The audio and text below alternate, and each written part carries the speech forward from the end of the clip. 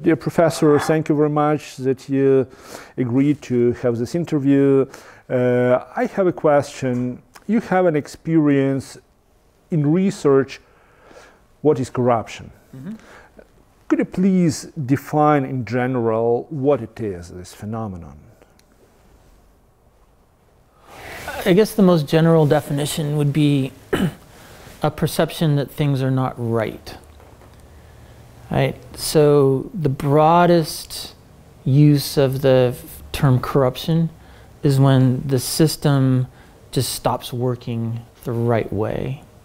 And, and in English, we, we use the word corruption, for example, for a, a computer program that stops working the right way. We say that program has been corrupted, right? The definition I mean, that definition is, is, is fine, but it's not useful for someone who's trying to study corruption or someone who's trying to control corruption. So in the social sciences, the, the, the um, non-ethics, non-theological study of corruption, most social scientists use a definition that's more precise, and that definition is the misuse or abuse of a position of trust or authority for personal benefit rather than for the reason that trust or authority was given to someone. And that definition would include things like bribery, things like nepotism, things like embezzlement, things like state theft of state owned property. And then there's a definition that's kind of in between the broad definition and the more precise definition. And that definition is undue influence. So, cronyism. Um, I give you a job not because you give me a bribe, but because we're closely related. I give you a contract not because you gave me a bribe, but because I know that we're part of the same group, and you'll, you know, you'll do me some favors kind later of soft, on. Soft corruption. Very, yeah, exactly, exactly. All of these are definitions that are used, but but the precise definition allows us to study, to measure, to, to do things a bit more scientifically. We don't want to ignore the soft definition, though. According to the um, sociology, if you ask people what is the biggest problem in Ukraine, corruption will be on the first and the second place, sure. probably the first place, and people want to change it. Sure. Where should people seek for the remedy? What could be a recipe to overcome corruption? So, this is not this is not an answer that someone who's angry right now wants to hear. But the, the, the first step is usually trying to understand corruption. Because we all have, you know, kind of our own personal reaction. And we all have our personal experience. But our own reaction and our own experience don't necessarily take us to the, the, the root causes of corruption or the, the structures that allow corruption to exist. So if, if the Ukrainian people, and I use that term generally, and I don't mean to, to diminish anything, are really serious about corruption, um, the first step is really understanding it. Uh, but then after that, there's, there's something, it goes by different names political will, for example, or social will or social motivation, but there, there's the, the, the, the, the willingness to work together to directly confront the problem. In some countries, like India, for example, people are very angry about corruption, and they should be. Corruption is very damaging to India. But it, it's difficult because it's such a big country and such a diverse country, to get a lot of people working together and willing to commit directly to confront or to confront directly this phenomenon. And, and in small countries like South Korea, uh, um, like some countries in Central America, Panama, for example, much easier to get that, that, that, that desire, that, that we're willing to work together to directly confront this problem.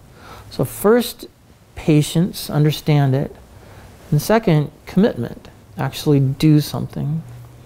After that, there's not really much of a formula because every place is different.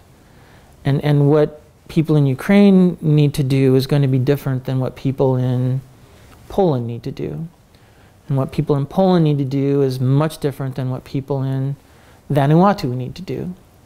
Right? Every place is different socially, every place is different structurally. And you need to work with what you've got, and you need to work with the actual problem that faces that polity. Uh, according to the same sociology, it seems that there is another problem how to cope with uh, corruption. Uh, many people say that they want to stop corruption, sure. but they don't want to begin with themselves. they often sure. claim, well, my corruption is very small. It's about a box of chocolate or a small amount of money that I give to some uh, state officer or I give to some medical doctor. But they're on the top of the society, in the yeah. high offices, there is a huge corruption. Let's first stop corruption there, then we will stop it down on our level. Yeah. How to do with this? So that's a that's a great question, and it, it, it, I love that question because it's very observant and because it also it, it, it it's kind of on the cutting edge of our understanding of corruption in English, in the English language, there's a phenomenon. There's a phenomenon that in the English language is called moral neutralization, and that is the, what you just described. When when people engage in any kind of bad behavior, but it doesn't register as bad to them. So, for example, I I have to work, you know, 15 hours a day, seven days a week to complete a project, I may steal a laptop and say, well, you know, the firm isn't paying me for all this extra work. I deserve this laptop. And it doesn't register in my head as stealing a laptop, but it's still stealing. And we see that sometimes with corruption. You know, oh, I have to do this because it's the way it's done. I have to do this because I want to feed my family. You know, there's all these excuses that people make in their heads um, to neutralize the, the, the, the guilt or the, another phrase is psychic costs of this bad behavior. And so one, and, and this is true of business ethics in general, one way to counter moral neutralization is to teach people that this phenomenon happens and, and that they're thinking in a, in, a, in a bad way and they're not thinking properly. And by bad, I don't mean, you know, in a morally bad way. I mean that their thinking just isn't coherent. It doesn't make sense. It's bad thought process. And, and interestingly, when we teach people that, that they're prone to thinking in these particular ways, it actually reduces the amount of moral neutralization that occurs. And again, this is true not just of corruption, but of all kinds of ethical lapses. And in my field, it's business ethics, but of all kinds of ethical lapses. So even asking the question that you just asked helps to, to begin to reduce the amount of moral neutralization that occurs. And you're absolutely correct um, moral in some places, this phenomenon of moral neutralization can be one of the leading causes of corruption, um, particularly when people in a, in, a, in a judicial system can excuse their behavior to themselves because judges are often independent. The, and, and, and the kind of moral or ethical rules that, that that bound their behavior are even more important. Or in government systems where there's not a lot of political accountability. Moral, moral neutralization can be a really serious cause of corruption. Okay, this corruption on the high level offices, or let's say it, let's call it institutional corruption, Okay. um, it is seen by the majority of people as the biggest threat to the existence of the state as such, to the existence of Ukraine. And uh, if you look back to the results of Orange Revolution, see some a sort of reforms succeeded. Let's say we have no more corruption to enter the universities. That's great. And that was a change of rules.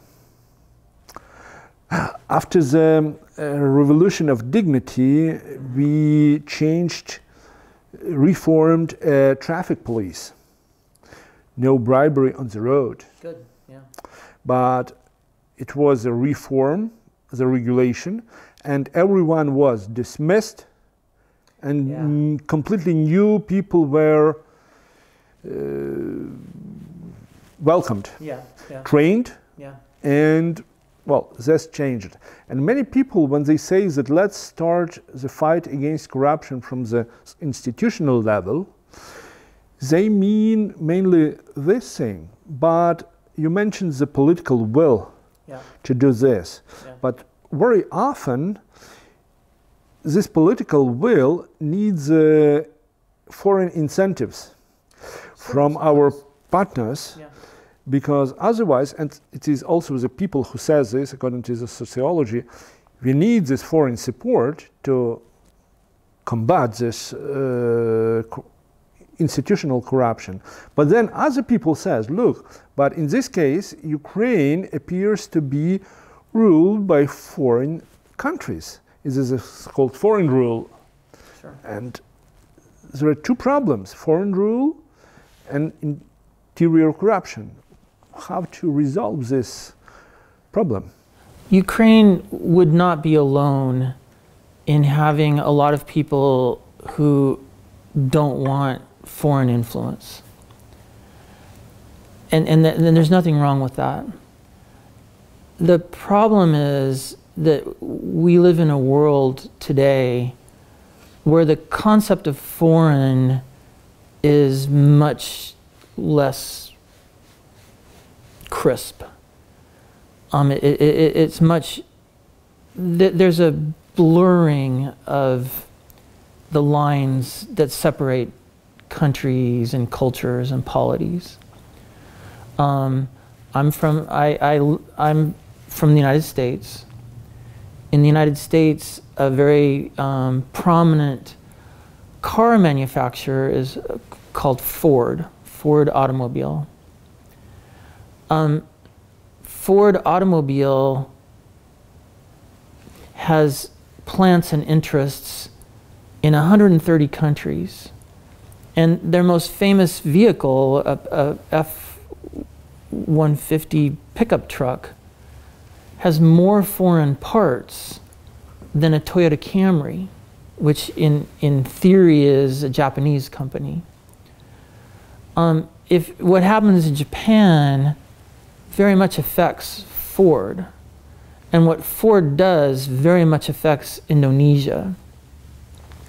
Uh, the food that I eat, uh, my favorite food is sushi from Japan. Um, my children play video games from all over the world. Uh, y- y- you know, the, the, this concept of us, us, us, us, us doesn't really make sense to business people. Um, business people don't think in terms of countries, they think in terms of networks, right? And so, you know, foreign influence on the United States, foreign influence on Ukraine, foreign influence on any country, that's, that's the way the world is right now. And it is, it, there's a lot of advantages to that. But, but of course, I, I understand, particularly in a country like Ukraine, that has been dominated by so many different other powers in the region, that you'd want to be careful with that. So there's ways to leverage foreign influence that are natural and, and beneficial. The, the United Kingdom Bribery Act, UK Bribery Act, is a very powerful incentive for businesses not to engage in corruption in Ukraine. Because a business that engages in corruption in Ukraine can't do business in any, anything that the United Kingdom touches, or is subject to criminal penalties. And that's a lovely foreign influence for Ukraine to take advantage of. Because all of the, the, the network that businesses think about, that, that, a, that a business would use in Ukraine, they want them to not engage in corruption.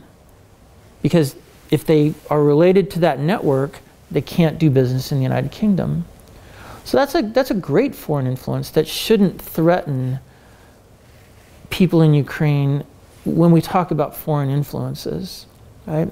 There's also the fact that, with all due respect to Ukraine, and Ukraine seems to be a very lovely place, there are polities, countries, and other political units that have more experience in dealing with or combating corruption.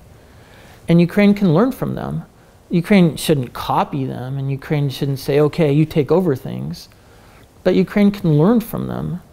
And that kind of foreign influence is a great influence. It's, it's learning, it's taking advantage of, it's, it's taking what's best from different places. Um, but that too can be controlled by Ukraine. You just leverage off of it, you just borrow from it, you use it. So I totally understand, given Ukraine's history, this concern. But I, I don't think it's a concern that should take people away from all of the great things that are out there all over the world that Ukraine could benefit from. Okay, thank you very much. And a concluding question, maybe the most complex question.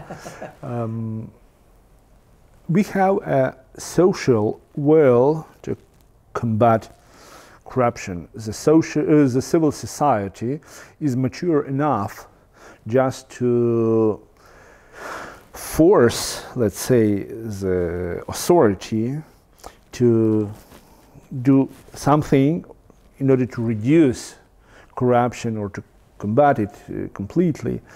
Uh, but on the other hand, the so, uh, civil society is not mature enough in order to create political parties mm. which will be effective, efficient. And the reason for this is that at the end of 90s, mm-hmm. a new business elite was born, new tycoons whom we used to call oligarchs, who became tycoons because they had relationship, close relationship to local or national authority. Yeah. And now they are so strong as to have huge businesses, which cost billions of dollars. They owe media. Yeah. They have their political parties. They control these parties. And in order to create a new party, you should be present on TV channels. But in order to be present on TV channels, you have to get some relationships with owner of these TV channels, and the owner are oligarchs. And it looks like their power is very concrete, is cemented. They owe everything. And in order to reduce their power, we need a national legislation reform, the deregulation, decentralization, but the political will of oligarchs is something different than political will of the civil society. Yeah.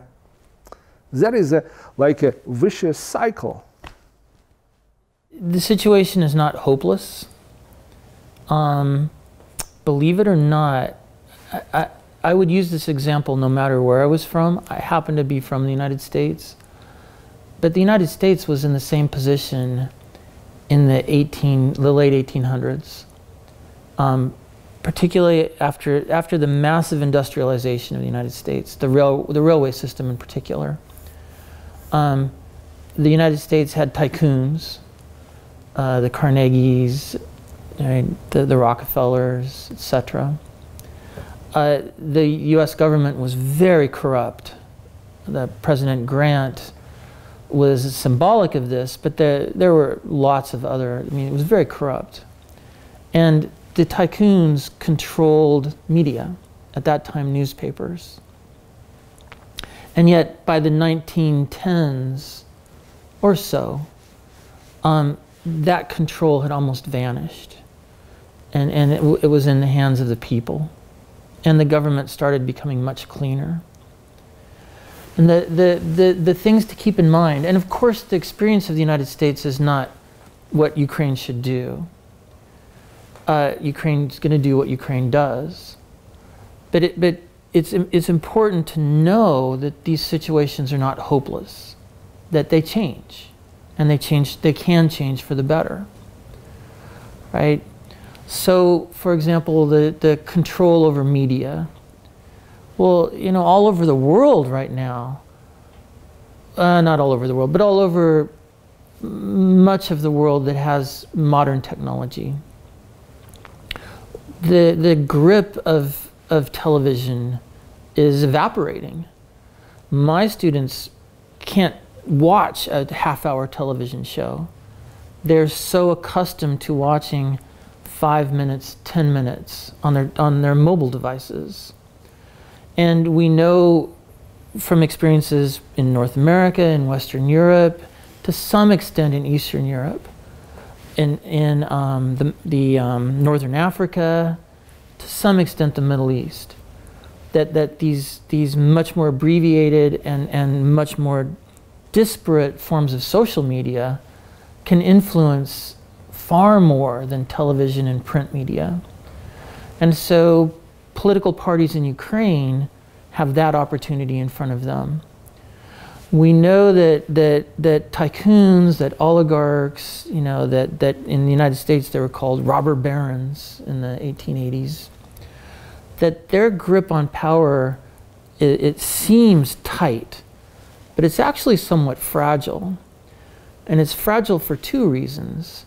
One is the relationship between politicians and business people, which it, it right now seems very meshed. They, they're almost the same people, and government is controlled by business.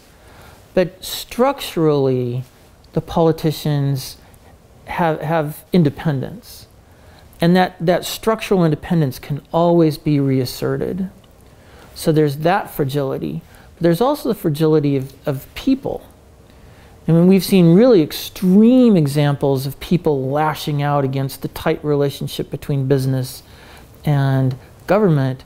And this part of the world, you know, saw the revolutions in St. Petersburg when thousands of people marched on the streets and said, this has to change. I'm not predicting an extreme change like that. I'm certainly not but, but there is always this pressure from the people and, and we've seen it erupting a lot lately. In, in Egypt, you know, it, it erupted and was crushed, but it, latently it's still there. In Iraq, it's erupting. In Lebanon, it's erupting, right? Um, in parts of Eastern Europe, parts of Central Europe, it's erupting in Southeast Asia, in South Asia and, and, and it makes the, it, at first, business and government makes their grip even tighter, but, but the, the pressure from the people can drive a wedge in between business and government. And so business, a smart, a smart tycoon, a smart oligarch, a smart robber baron says, I have to change. I have to run my business in a way that doesn't just benefit me. I have to run my business in a way that's accountable not just to me, but to the government and to the people. And so it changes. Now, it may be an abrupt change, but hopefully it will be a, a change that everyone works in the, the business people, government, and civil society. That's when you get the smoothest, most productive, most beneficial for everybody kind of change. It's happened before, and it, it will. I'm, I'm not here to say it's going to happen in Ukraine, but there's every reason to believe it could happen in Ukraine, and every reason to believe it will happen in Ukraine, precisely because of the revolutions and the, the protest movements that you mentioned, and because Ukraine is so closely, uh, you know, physically located to um, places that have gone through these changes already, and because Ukraine has access to information from all over the world and is highly educated. So there's every reason to believe it, the change will be the productive kind rather than the abrupt kind. Okay, thank you very much. Thank you for your questions.